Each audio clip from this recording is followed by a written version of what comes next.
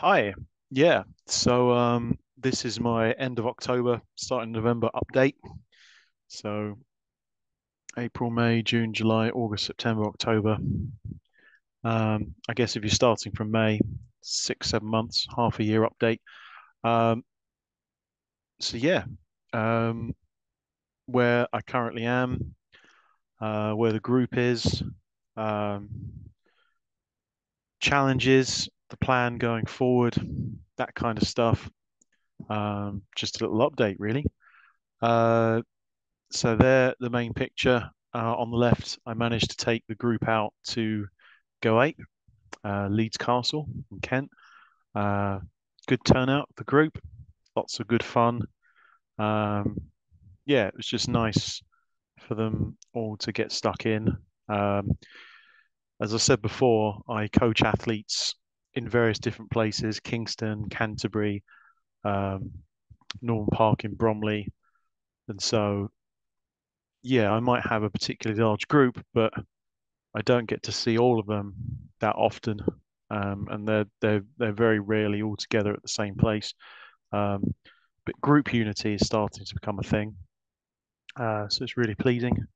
Um, an example of that is um, if you look at uh, the picture in the bottom right, um, with from left to right, Alex, Josh, and Ollie. Uh, they're in different counties for a start. Uh, Alex with the golden vest for Surrey schools, and Josh and Ollie uh, with the Kent vest on. Uh, and Josh is in the northwest of Kent, in the Bromley area. Um, and Ollie is down in Canterbury, um, right down the other end of uh, Kent, which is a good 50, 60 miles away. Um, so it's very rare that all three of those boys uh, interact with each other all at once. Um, and it's the same goes with the rest of the group, and it's just really heartwarming um, that I think there's been a definite improvement in group unity um, this year. Uh, and I think one of the, the things I want to kind of foster amongst the group, especially with these youngsters, is like they do enjoy to train. They do like turning up. They're supporting each other. Um, and I think that makes a massive difference if one of them gets injured uh, or they go through a tough time. Doesn't necessarily have to be an injury. Um, so, for example, um, well, we'll talk about it soon. But suppose somebody's going through a rough time, it just it's just so much better if the group's supportive and they've they've got each other's backs. So, I'd, I'd like to think that's been fostered to a fairly good degree. Um, I wouldn't say it's the best, um, but it's a hell of a lot better than it was this time last year. Um, so where is the group? Um, so myself, the athletes, what's gone well? Um, loads of things. Uh, I think I said in a previous video that the average age of the athletes was quite young, um, so I wasn't expecting any international success. Um, I'll look at positioning first and then performance. Uh, when I look at positioning, um, the average position of everyone in the group was 10.6 in the UK, so just outside the top 10. Uh, seven of the 12 athletes were in podium positions, so first, second, or third in the UK. Nine of them uh, are in the top 10. Um, and six of the 12, as I said, are ranked number one uh, in the UK, which is for, for a relatively small training group. Uh, some might argue it's large. Um, some might say it's small. Uh, it's all relative. Um, I think for that tight group of uh, 12, 14, 15, uh, to have so many in the top 10 and so many top three in the UK and even first. And it's not just first in one event, some of them are first in the UK for multiples. Um, he's not going to like me dropping it in it, but uh, one athlete is number one in the UK for under 13 high jump and he's number one in the UK for pentathlon. So it's not just one event. Some of these youngsters are number one in the UK, some of them are, are multiple. Um, if we look outside of the UK, um, Shane made a big step up this year and decided to compete for Trinidad and Tobago. Um, fully supported that decision, uh, enabled him to represent Trinidad and Tobago in the NACAC, which is the North American, Central American, and Caribbean Games, um, and the Commonwealth Youth Games. Uh, it's absolutely fantastic for the 110 meter hurdles under 18, uh, the 400 meter hurdles under 18, and the uh, 4x1, I believe he was in. Um, so yeah, he's he's the best in Trinidad and Tobago, uh, from what I can tell. I've got lots of UK top talent, international top talent now, um, and yeah, I was saying in another video, I was expecting, despite the young age of the athletes, I was starting to, I was anticipating like reaping, um, not reaping, that's probably a bad word, but I was expecting uh, quite a lot of the athletes to claim to reap the uh, and some international honours. Um, and so there's now four, ranging from combined events to combined events SIABs, uh, individual events for the SIABs um, areas, which is the NACAC I talked about, and and, and major games like Commonwealth Youth Games. Um, I'm still not anticipating any senior internationals. Uh, the average age of the group is still really young, um, something that's at the forefront of my mind. Um, but in total, five English schools medals, two golds, one silver, and two bronzes. Uh, an indoor, well, loads of indoor champions. Um, we've already talked about in the summer one, but in terms of England athletics outdoor champions, um, Ollie, uh, with his octathlon championship record, first all time. Um, there's nothing to sneeze at, considering it was once held by Sammy Ball, who nothing short of prodigious talent. Um, he's he's he's amazing. Um, and if Ollie is anywhere near that, that's that's a credit to Ollie. Um, so yeah, in terms of positioning, um, athletes doing really well. Uh, the athletes that aren't in the top ten, uh, one of the reasons why they're not in the top ten is every single one of them have got another year in the age group, i.e., they're in the bottom of the age group, or they're year two of three under twenty, and so I'm anticipating this year, 2024, to be their time to strike. Uh, they know that, uh, and they've been really positive and upbeat about it. Uh, they always knew that this year was going to be like the training year, uh, learning the events, that kind of thing. Um, so I think considering the positionings of the group, uh, the positionings of the ones that weren't as successful, shall we say, and the mitigating circumstances are they are at the bottom end of the year group and it's more competitive um, that's perfectly fine. Uh, there's no real cause for concern. Um, the only athlete who didn't really compete uh, sustained an injury last November um, doing gymnastics, and so that was outside of the group. Uh, there's no cause for concern in terms of uh, health and safety of the group. I, would like to find. I like to think that um, I'm pretty on it, uh, health and safety wise, and we're here to work hard, have fun, safe environment, uh, supportive and nurturing. So I, I, I, see no issues there. I'm well up to date with the health and safety regs um, of UKA. Um, and speaking of UKA, uh, now that's kind of offloaded its qualification route to England athletics and the other home countries. So the last update, which was April 2022 to April 23, I had just become a level two coach for jumps um, around about January, and that took an absolute age. Um, whereas now, not only am I a level two athletics coach for throws, uh, and I needed that specifically to be insured to do discus and hammer, even though I'm probably never going to coach hammer. Uh, I am. I feel fairly confident to coach it. It's, it's, just not as part of my interest. Combined events is where I am. Um, I'm also an event group, which is the old level three uh, coach for jumps now, and I've completed all the online learning for level three event group for sprints and hurdles and throws. So once I have those integration days, I'll be an event group coach for jumps, throws, and sprints and hurdles, which to me is everything for combined events. There's no other higher qualifications that England athletics uh, have, from what I can see. I'm more than happy uh, to talk to them about that. I will chase up next time I have an integration day. Uh, the last time I did ask that on the the jumps integration day, they said no, that's all we've got, uh, which is fine. Um, it makes me a little bit sad. I want to push on the sport. Um, and a little bit jealous uh, when looking at the statistics of uh, other coaches. I have spotted that some coaches have their old level four qualification for decathlon and heptathlon, uh, and I wish there was something like that now because I'd love to get it.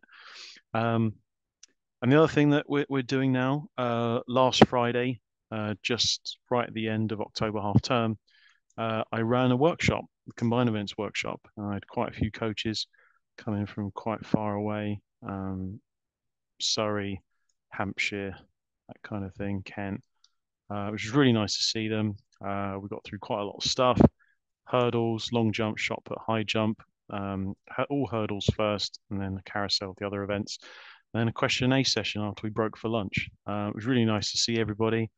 Um, I am booking more dates in the foreseeable future. I've got four or five venues uh, that I'm talking to.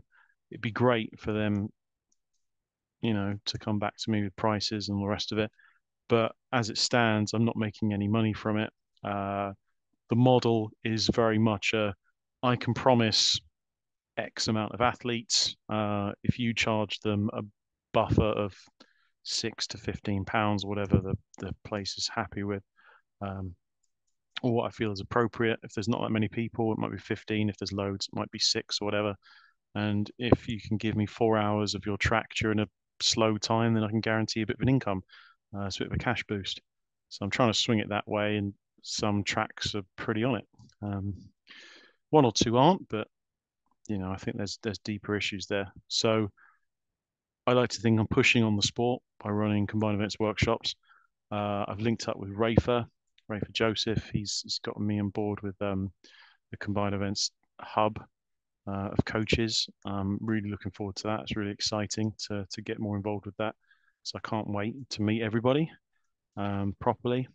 Um, I think the group are doing really well. Um, you know, they're they're they're pretty much doing what I thought they'd do, um, and that's not a poor thing. That's uh, I just planned it particularly well. I knew they'd be roughly here, roughly there. Um, there's no surprises, and just just only good things. Um, but when I start to think of what hasn't gone so well, so yeah, as talked about before, the average age of the group is about 14.6, 14.5. And so major internationals are not expected at this stage. And it's almost counterproductive to be talking about them because they're either too far away in time or too far away in standard. Um, we could dream about them, sure, but it kind of detracts from the here and now. Um, only one of them are really what I'd call a major international. That's young Shane, uh, and the and I haven't trained him probably since like February, March. And the real reason for that is um is logistics. You know, it's, it's he's he's not the only child. You know, he's, he's got a younger sister that does gymnastics, and the, the day I used to coach him, now she's doing gymnastics, and so it's that awkward. So you know, parents are going to drop off which kid and so on. Uh, he's based in the Medway area. I coached him in Canterbury. It's not exactly around the corner. It's not that far either, but it's it's just awkward enough that you know they just have to think about it. And luckily, um, Shane's now looked after by Julie, Julie Benterman, um, and if he's enjoying it and she's producing the good results out of him and he's producing good results, then and he's developing, then then good, good. As long as he's developing, enjoying the sport, and getting better, can't ask for more than that. So yeah, if he's he's, he's always welcome to to train with us on a Friday or Monday, Wednesday, whenever he feels like. Um, I occasionally message his dad, and his dad messages back, and all the rest of it. So just lovely family. Um, the squad is relatively healthy. Um, when I say relatively, we've obviously had one athlete that's had major surgery uh, earlier on in the year because of an injury in November. Um, and the good news is they're now back into training. We're just taking it slowly, um, just doing what they can do, strengthening up things, all the rest of it. Um, and that's pretty positive. But I think it's going to be unlikely that they're going to be performing to their maximum this summer. I mean, we'll just see how it goes, but it's okay. I'm for them, for me, I think 20 the summer of 2025 is when they'll start to strike back. Um, and then yeah, since April, late March, April, um, another athlete, young Josh. Uh, well, he he had ankle problems, and it turned out he was playing basketball and football and all these other multi-directional sports. Um, and then that, that was made worse by him training all the time with me. So essentially, uh, when I told him to rest and go and see a physio, you know, professional medical advice, uh, that didn't happen until June, July. So a couple of months later, his knee got worse. Um, he had to stop training altogether. Um, fast forward, he went on holiday during August. And yeah, he hadn't trained really since May. And his next, his next, well, his first competition back, apart from the YDL national finals, was English schools combined events. Um, so he had very little preparation for it, and he still banged out 150 point PB. Um, you know, you could argue that he the way he managed that injury and him doing other sports meant he was injured for an extended period of time, and thus that impacted his performance. Um, I know for a fact that long jump, if this is the stop board where my hand is here, he took off 70, 70, 80 centimeters behind the white of the board, and the white of the board is 20 centimeters wide. I mean, he was he was a country mile behind that board, easily a step. Um, one of my steps anyway. And yeah, because of the announcers, I couldn't hear what the, the jump was, but all I heard was 33. And so in my head, I was thinking, oh, he's a 580 jumper, might have done a PB. He was massively behind the board, so it's probably 533, and it might have been a six meter jump if he was on the board. Fine, fine, fine. Turns out that was a 633 jump. And considering how windy it was at Bedford at English schools, it's actually a legal wind jump. Um, so he jumped 633. He was miles behind the board. Um, and because his run up was not as well rehearsed as we'd liked, um, because he'd missed training, that potentially could have been a seven meter plus long jump, could have been a British record. It would have meant that he'd won that pentathlon by a country mile. Would have been another English schools win. So I'd have three English schools winners. Um, yeah, he he knows all this. We've talked about this ad nauseum. Um, but one of my, I'd say, downsides is he's he doesn't see he doesn't see football as the problem. Uh, he doesn't see other sports as the problem, and he's the kind of athlete that will just exercise and exercise and exercise. He's just full of energy, but his body is disintegrating because it can't handle it, and he's just destroying himself. Um, no, he he tells me he's resting, but then I'll get a message from his parents saying, "Yeah, um, Josh is doing a four-hour tennis tournament or something." It's like, "Oh, that wasn't resting," and it's whenever he does things, it's multi-directional sports. It's always tennis or cricket or basketball or things where you're moving around, chop and changing direction. It's never um, it's never sports where you're constantly going in one direction, like swimming or maybe going for a run. You know, it's it's always agility, movement based sports, and so part of why his knees are going is because of that kind of. It's not um, an explosive um, problem with his tendons. It's a it's where the tendons are being stretched and warped rotationally. Um, possibly because he's not used to it. And so he's got all of these muscles exploding so dynamically because of his strength uh, in athletics. And then he's applying that to different directional stuff in football. And yeah, his body can't handle it. Um, when it comes to English schools, although PBs were, you know, so we look at performance, not positioning. So his actual performance, they're all PBs. So Josh PBs, Chi Chi PBs, Ollie PBs, Shane PBs, um, all of the group has PB'd massively. Um, you know, they've they've PB'd up the wazoo. I don't think there's a single person in the group that hasn't PB'd at least four or five events. Uh, the only person who hasn't PB'd four or five events is probably Shane, because he's only interested in sprint hurdles and four hurdles, and maybe the four by one, four by four, or the 400 flat. Um, but he's PB'd in everything this year. Um, he's the fastest UK non-resident. So he's he's the fastest non-UK resident athlete in the 110 meter hurdles under 18 level and the 400 meter hurdles under 18 level um, by a long shot. Uh, 100 meter hurdles, he's not, but that's because he made the switch to the 110 meter hurdles a bit earlier, and he's he's run that at two major competitions, the NACAC and the Commonwealth Youth Games. So, yes, it's a no, it's a no-brainer for me. Uh, he's just the best. Um, so yeah, even though the performance was pretty good, uh, the position was pretty poor. Um, now, some athletes that doesn't apply to. Um, you know, Chi Chi has been unde- undefeated all season. You can't whinge about her positioning at all. I think the only time she's not won a triple jump competition is when she was competing against seniors um, an open competition. Well, not an open, I think it was the biggest jumps. Uh, I'd have to have a look at the stats, but no one her age has beaten her um, not by a country mile. Uh, she's the only one that's broken 12 meters in the triple jump. She's done it many, many times. Um, and I'm I'd be willing to put a large amount of money. She'll be the first British girl to jump 13 meters plus under 17. She's getting the British record um, as long as she stays fit and healthy. And you know she's got a good team behind her. She's a smart girl. She won't she won't do anything silly like like possibly Josh or Ollie would. Um, she's focused. She's driven.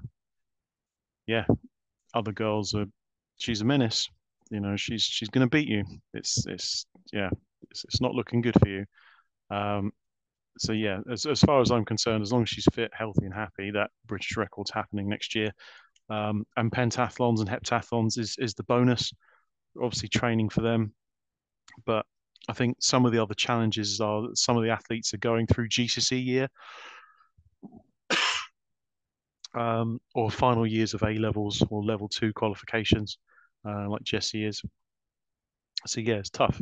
It is tough. There there are challenges um, and there are setbacks, but we're you know we're constantly talking. That's that's part of it. Um, we're navigating them fa fairly well. It's just a case of of navigating. Um, so what's the plan until the next update? So um, the group is still fairly young. Uh, movement skills are still the top priority. Uh, some of them, though, it's going to be movement skills with a twist. So it might be uh, under duress with balancing. It might be stop starting, so balance and tempo work, as you can see in the diagram. Um, it's going to be the movement skills, but with a twist.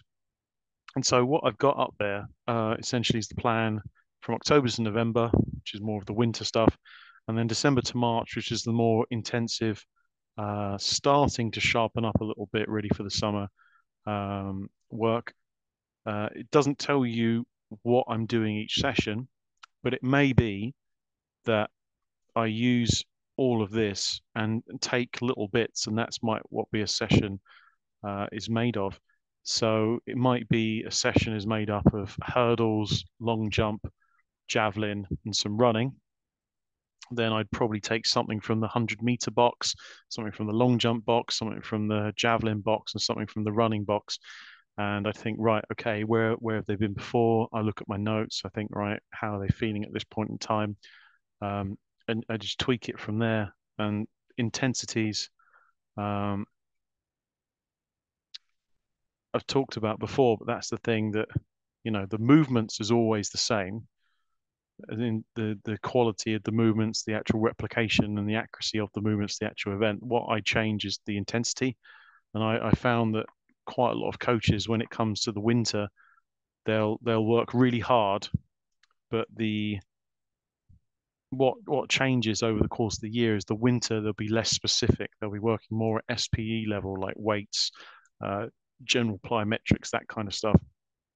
Whereas for me, no, all of the you know the, the key components of jumping, the care bear stair, the power movements need to happen all year round. Um, And so the potential challenges now that the athletes have started getting fluent in that, um, which is great because it means they're learning the skills, they're getting better, and so on. Um, when it comes to, I'm not saying they're technically perfect, but now they're doing so well that it's very easy for them to get bored. Um, just hammering the basics isn't a challenge to them anymore. And so constant skill progressions, um, doing it with various different resistances, doing it in different contexts um, is going to be my approach to tackling that kind of thing. So yes, we are hammering the basic movement patterns, but it's how you dress it up. It's how you put it into a different context. Um, it, you know, so it, it, it just depends how you dress it up and how you sell it to the athletes.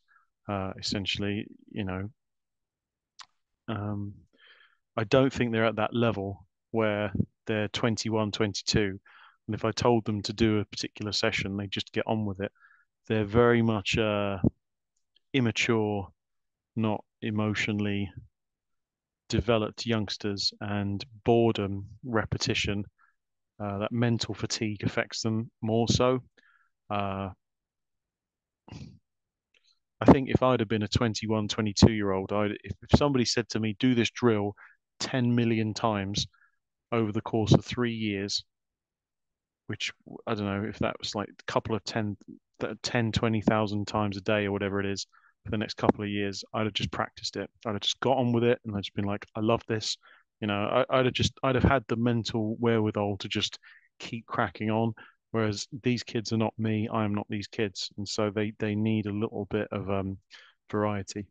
Um, so that's that's kind of that. If you want to see what I've been doing, I'm not going to talk through that whole table. You can pause this video and have a have a read in. And these are only suggestions and rough ballpark figures what we're doing. As I said, this is not a training plan. This isn't even a mesocycle plan. Uh, this is more of um, my overview of like what we're doing and so to, to aid that board, I'm not only going to have different progressions uh, in different contexts and be like, well, what does that mean? Well, in actual fact, we're going to put more games into it. Um, now, they're not going to be kiddie games. They're going to be more like mini competitions in the group. Uh, could be handicapped against, you know, like hip height, weight, that kind of thing. Uh, so it all balances out the end. And so you're trying to promote how good are you for your shape, for your size, for your weight, that kind of thing. Um, and so yeah, they from from what I've seen, they they enjoy it. It's a little bit of competition, and yeah, it's it's it's just nice to see. Um, but there's going to be some challenges. Um, one of them uh, is weights. Um, so because they're starting to get a bit older and they're starting to see other groups use the weights room, um, they're starting to think, well, hold on a minute, why aren't we using the weights room? Um, which is fine, which is a reasonable response. Um, and so there's various different ways that I would um, explain why not. Uh, the first thing is safety.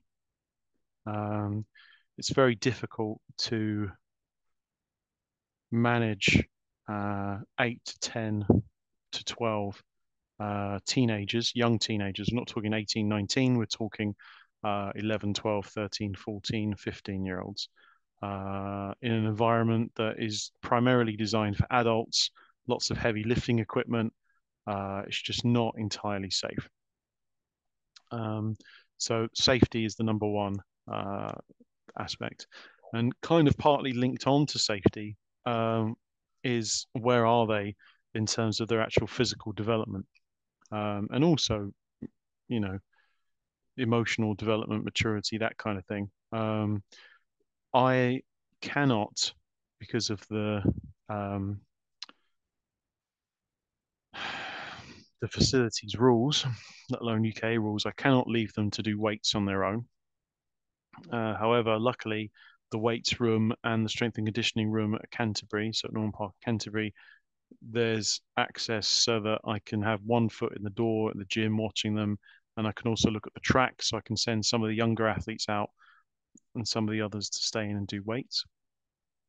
Um, also, from a UKA development point of view, uh, are their muscles, tendons, skeletal structure, are they developed enough yet? And there's a difference between boys and girls, and there's a difference between an 11 year old and a 21 year old. Uh, and there is always difference in training age, whether you've just come into the sport or whether you've been doing the sport for, you know, 10 years plus. There's a lot of things to consider. Um, and when trying to explain this to parents, it can feel a little bit woolly. So what I devised, um, just to make it absolutely clear to all the parents, um, I have left this chronological training age um, table um, on my group WhatsApp. Is something I made. Please don't take it as a this is the way. This is just what I have up, just so it just clears any kind of um, questions with the parents, really. Um, and so, as you can see in the red, pretty much under 11, under 13, that's a big fat no. Um, medicine ball and resistance band work only. Um, definitely. Under 15s, right up into doing it one or two years in the sport, that's also a big no. Maybe if they've been doing it for two to 10 years, which I find unlikely, but possible, I'd probably say 10 to 20% of body weight maximum. So really, that's only slightly heavier than a medicine ball. Um, slow technical work, that kind of thing. Um, I know some coaches like, oh, well, you can use a broom handle and you can practice this stuff. I know for a fact for me, maybe I'm not flexible enough, but if I have a broom handle like that, there'll be a gap between the broom handle and my shoulders. I've actually got to actively pull it down. Whereas if there was a heavy bar, it would just force itself down and I'd be more in a natural. There's just lots of things that just are, are easier with a tiny bit of weight. And although you're trying to teach technique, I just feel with broom handles, it's just not quite the same. So I'd rather just not bother. Uh, there's plenty of way of get, ways of getting power transference, and to me, medicine balls and resistance bands are, are, more than enough at that stage. So so why why go anymore? Uh, and as you can see, it goes progressively down. And so pretty much from under 20 upwards, if you've been doing the sport for two to five years, I would probably expect your muscles and tendons are developed enough to handle high intensity lifting. Uh, everyone's that's a relative thing. High intensity for me might be extreme intensity for some and low intensity for the others. Uh, it, it just depends. But high intensity is in you can lift what you feel is heavy relatively safely as long as you built up to it and all that kind of thing. And it's just trying to not deter people from the gym, but just make them think like it's a it's a very um, you know it's a multi-faceted problem of when should you be doing weights. And I think many people spend too much time in the weights room um, and at a young age, and I just don't think it's necessary. Uh, and I actually think it's counterproductive um, in some ways, and we'll talk about that in a second. But um, I know that one of my athletes, Jess, wants to do weights three times a week and comes down the track twice a week. And to me, that screams of she's not getting enough technical work or sprinting done. And I kind of see where she's coming from because she's going down the health and sports massage route um, fitness kind of thing, and and there is the aesthetic of being in the gym, being gym fit, and she wants to be a personal trainer and do various other things, and probably her business is and her uh, career going forward is going to be gym based if she wants it to be.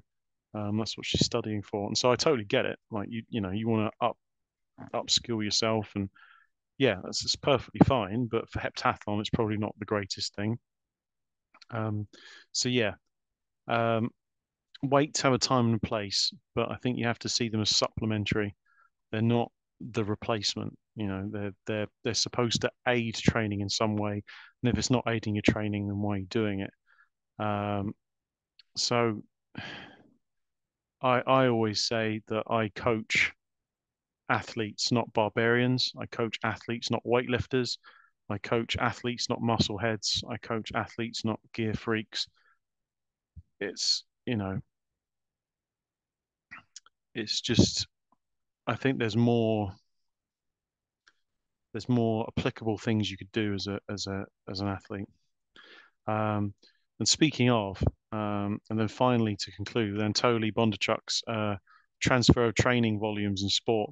Uh, it's often quoted, but here you go. So here's a table of some throwers that he studied.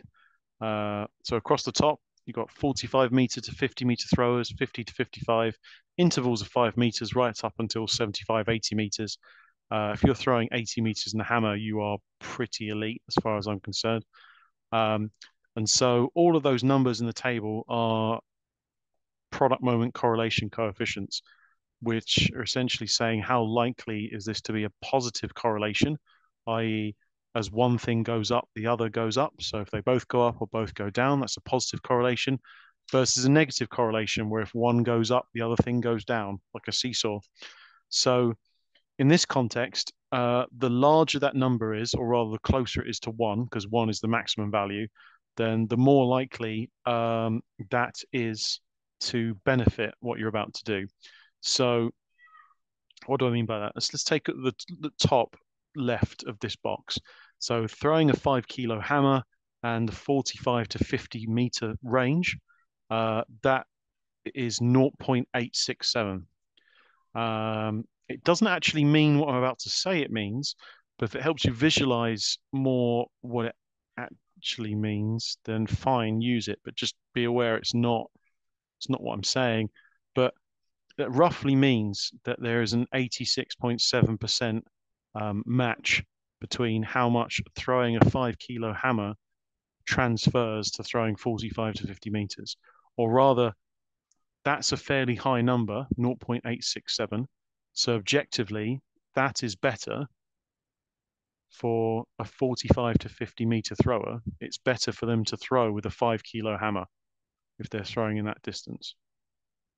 Um, so yeah, it's uh, whereas I compare it to the next block over to the right, the 50 to 55, it drops down to 0.765, which means it's still a good transfer.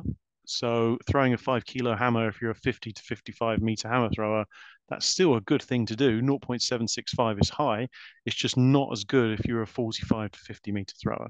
So what that's suggesting to me is as the, the, the hammer throwing athlete is getting better, i.e. moving from 45 to 50 to consistently 50 to 55, that throwing that five kilo hammer isn't as effective as it used to be um, when trying to throw that hammer, that the transference of, of progression is not as effective. So if I wanted to improve, uh, if you look, if you scroll down a box, throwing the six kilo hammer, it then jumps back up to 0.866. Um, so it's probably one strategy reading from this is that once you've gone from 45 to 50 to 50 to 55, you might want to switch up from going throwing a five kilo hammer to a six kilo hammer. That's all that means. Um, yeah.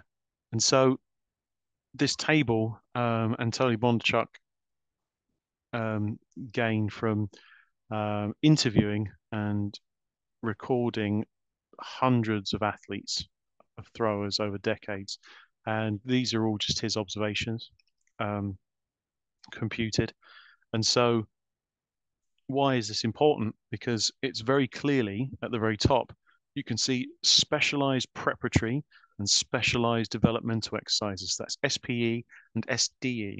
So, SDE, specialist development exercises, are ones that replicate in part or with resistance the actual event. So that's clearly the throwing the 5K, the 6K, 8K, 9K, 10K, 16K hammers or weights as it gets a bit heavier. And the SPE is where it's using the right energy system, but it's not replicating the movements. So we're pretty much the bottom half. So barbells, power cleans, squats, long jumps, triple jumps, vertical jumps, that kind of thing. And so um, what I said in the previous video, you want to stay in the SDE and above. So SD, so from the top, the actual event itself, competitive exercise, SDE, which is specialized development exercise, SPE, specialist preparatory exercise, and then GPE, general preparatory exercise. And so GPE, you might think, well, what's the point? It's a bit rubbish. Not really. It depends what you're trying to go for. It could be useful for a warm up, rehabilitation, that kind of thing. I just question if an athlete was particularly healthy and they were technically fluent you know why are they spending so much time in gpe and i've talked about that at length with you know sprinters spending tons of time in the gpe but you know whatever. So if i look at the throwing the 60 to 65 category you can see that throwing a hammer has got fairly high um, so when i say throwing a hammer it's like a 5k 6k 8k 9k and so on. Fairly high pmcc product moment correlation coefficient product moment correlation coefficient. is pretty high. So that means the transfer is is a lot better than say the SDE, the special the you know the specific preparatory exercises, which are the weights. So barbell, power, clean, squats, and long jump, and so on. In the point threes, point fours, you know, it's effective. It will lead to a positive improvement in your throwing, but it's not as effective as actually throwing stuff. That's because of the, the techniques and whatever, and it's higher up on the exercise classification hierarchy. So yeah, but then even when you move into the elite stuff, um, for weights and the SDE, it becomes even less. And by the way, if it's zero, if it approaches zero, then in actual fact, that's random. That means it, you know, it's hit and miss. It could potentially help, it might not. Um, whereas if we look at throwing, even at the 75 80, uh, in actual fact, having a um, a correlation coefficient of 0.824 with the 10k would kind of imply that if you want to start throwing far, then you know throwing heavy, heavy hammers is probably the way forward. Um, but if you look at it going too far with the 16 kg, it drops back down to 0.6. So there's obviously some kind of like wiggle optimum there. But yeah, I just feel that weights have their time and place. They should be supplementary. Uh, I feel for developing decathletes, combined event athletes, heptathletes, and whatever, there are too many movement skills to master first, and you shouldn't really be looking at weights uh, for a long, long time. Um, and even if you are, it should be, you know, it should only be supplementing what you're doing. Um, what is critical is your ability to jump, run, throw. Um, no one cares if you were 400 points behind the loser, uh, behind the winner, sorry, but your bench press is 40 kilos heavier or your back squat is 100 kilos heavier. No one cares. You know, you've, you've done the wrong thing. You know, no one cares about what you can do in the gym. It's what you can do at the track.